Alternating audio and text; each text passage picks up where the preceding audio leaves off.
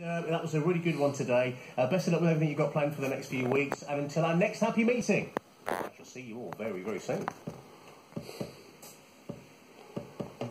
How long enough of being